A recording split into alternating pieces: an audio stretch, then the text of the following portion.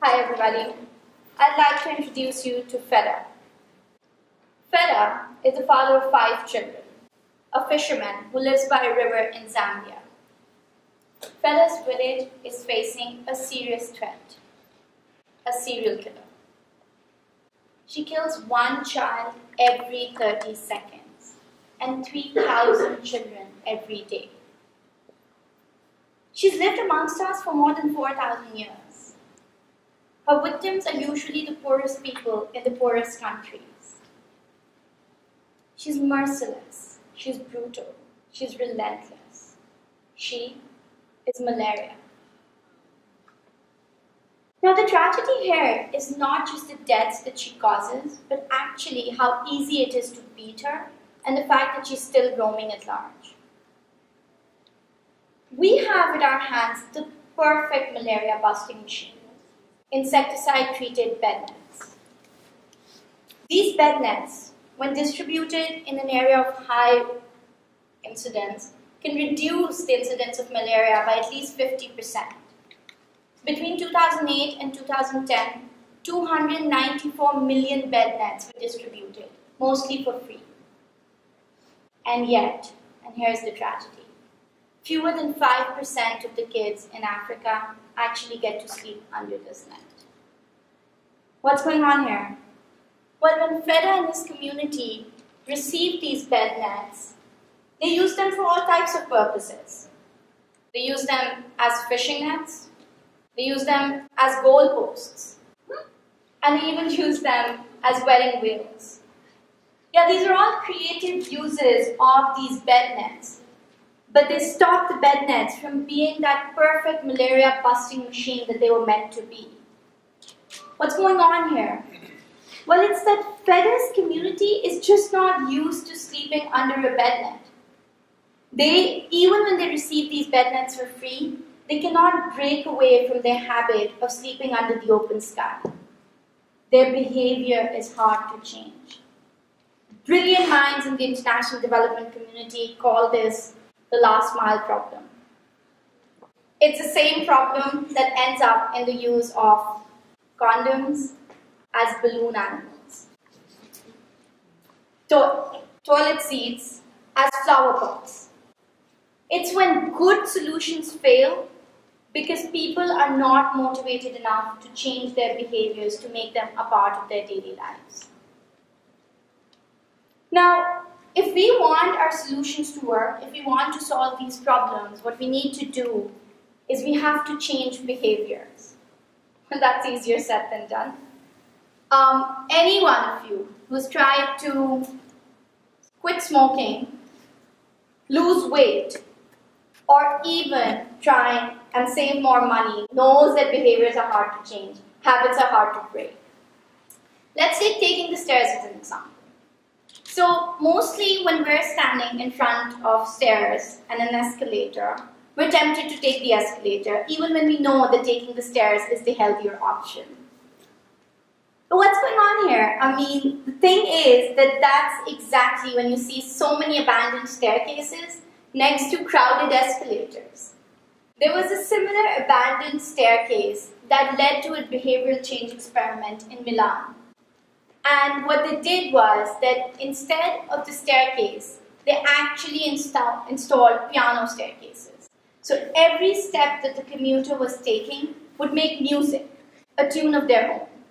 So all of a sudden, what was previously an abandoned staircase now became a source of curiosity, fun, and fitness for the people coming out of this underground station.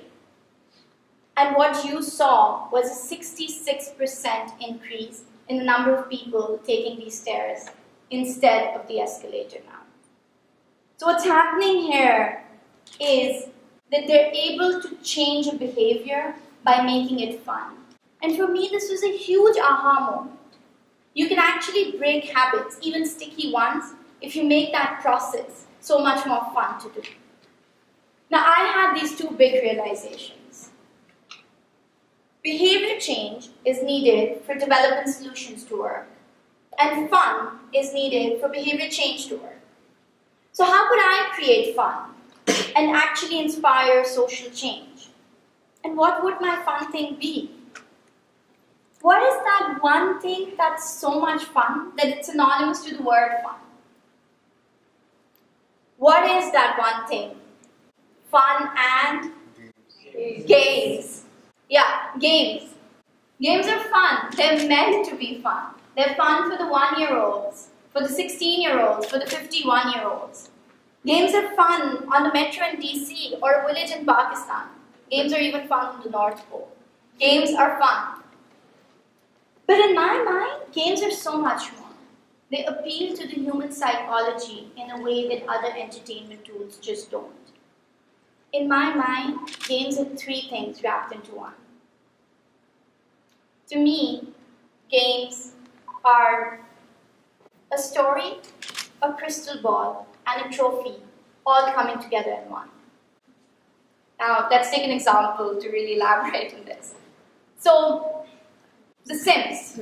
I mean, shout out for all the ones who know Sims. Yay! Okay, good. So, The Sims is, is a game that's hugely popular, and there's a story. You get a bunch of virtual people called Sims. You have to feed them, build houses for them, marry them off to each other, and make sure that they live happily ever after. Then there's the crystal ball. You're able to see the future and the consequences of your action in that future within the span of a few hours. So, for instance, this Sims player clearly made a bunch of very bad decisions and is now facing the future in her Sims household. Right? And then there's the trophy. You get rewarded for good behavior. A well decorated house makes your Sims happy. So when this story, this crystal ball, and this trophy all come together, the impact that it has on your brains transcends the virtual boundaries of gameplay. It actually comes to that point where the impact, you feel it in your real life. I have a confession for you to make. I have a confession to make. When I'm playing Sims, I like to make my Sims squirm in discomfort when they want to go to the loo. I make them wait to the point that they wet themselves in the living room. Don't judge, I'm sure you tried it too. but see, here's the thing the virtual discomfort of my Sims actually leaves an impression on my brain that now when I have to go to the loo, I imagine this big blinking red spot on the top of my head, urging me to pay attention to my real flesh and blood bladder and make sure I'm not pushing its limits. That's how powerful games can. And I'm trying to leverage this power for social change. With my social venture GRID, Gaming Revolution for International Development, I'm trying to inspire change and fight issues such as oppression, discrimination, and poor health and education outcomes. I'm trying to see if GRID can be the nexus of three of my passions education, technology innovation, and behavioral economics. I was always intrigued by the role that technology can play in helping us solve the problems around us in a more meaningful way. And GRID is my way of finding out. To me, GRID can be this way, this powerful message to change behavior. Remember our friend Feda Imagine if he could play a game. A game where malaria is the bad guy and bed nets are his weapon to fight this bad. The game would reflect the tough choices that Feda faces on a daily basis, the realities of the life that he lives. The game would give Feda a safe space to make wrong calls so that he can make the right calls in real life. The game would allow Feda to truly understand how dangerous malaria can be so that he can then use bed nets to protect himself and his family from malaria. Now you're probably wondering, how does a fisherman in Zambia get to play this game? Well, here's the thing. We are at the cusp of the next big technology boom. The global penetration of smartphones. According to the Ericsson Mobility Report, 70% of the world's population will actually have a phone by 2020. We're looking at a world today where phones as cheap as $20 are available in areas where even toilets are a luxury. This boom presents a window of opportunity, a window to leverage simple mobile-based games to create social change. And that's the kind of games I'm trying to make.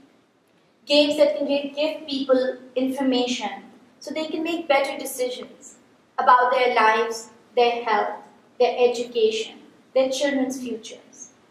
Games that are not just a tool for entertainment, but that have the ability to influence and inspire. The GRID team is making many games. Games, for instance, that can contribute to the fight against open defecation in India. Or games that break the stigma around menstrual hygiene in East Africa. Or simple games that can make math learning more fun. This game, challenges its players to take on an alien invasion in mathematics and save math, going from saving numbers to fractions to data to everyday stats. The game will actually be introduced to 500 students in the next three months through a project of the World Bank and the government of Gambia. What I want to talk to you about today is a game that actually tackles a problem that might be something that many of you face. Have you ever been judged in the first five minutes that someone met you? Based on your gender, the color of your skin, the clothes you were wearing, or the car you were driving? Have you ever been put in a box in someone's mind and have that box become your identity? See, the thing is, that stereotypes are all around us. And what if we do not belong to those stereotypes? What if we are so much more than those stereotypes? Not all girls like the color pink. Not all Asians are good at math. not all Muslims are terrorists. And not all black people are prone to violence. Stereotypes are dangerous. They're around us, and they not only alienate people, but they're the reason behind hate crimes and violence and social conflict. Now, I understand that stereotyping is a behavior that's anchored in the social constructs around us. And yes, I understand that it's hard to change that behavior. But remember, we have this secret weapon for behavior change with us games. And that's what I decided to do. I decided to make a GRID game on breaking stereotypes. Stereowiped is a game that challenges its players to match tiles of stereotypes, pairs of stereotypes, and then it wipes them for them. So on a time challenge, you go through different pairs of stereotypes, you're matching them, and at the same time, you're watching the game break these stereotypes for you. So for instance, if you match I am African and I live in a jungle. Well, guess what? 40% of the African population lives in urban areas, not jungles. Or the game could break another stereotype for you. I'm a girl and I like the color pink. Well, two out of three girls around you actually prefer blue more than pink. Or I'm a Muslim and I'm a terrorist. Well, guess what? Four out of the previous 12 Nobel Peace Prize winners were Muslims.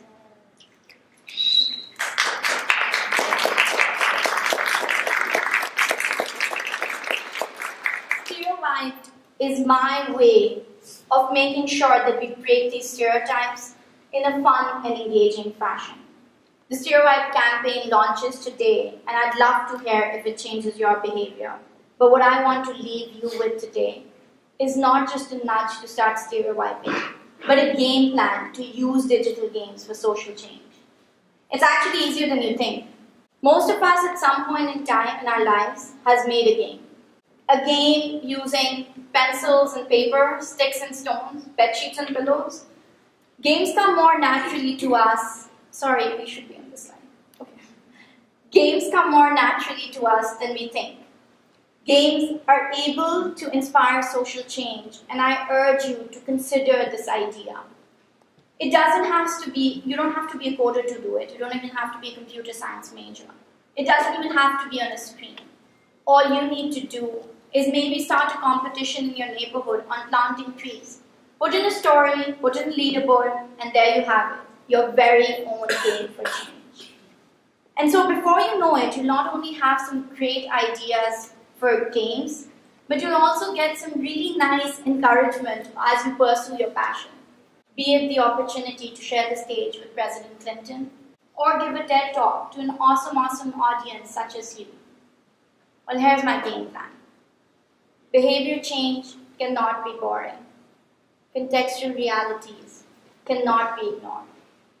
Innovation cannot be left to tomorrow. The time is now to leverage the power of games to create a better world.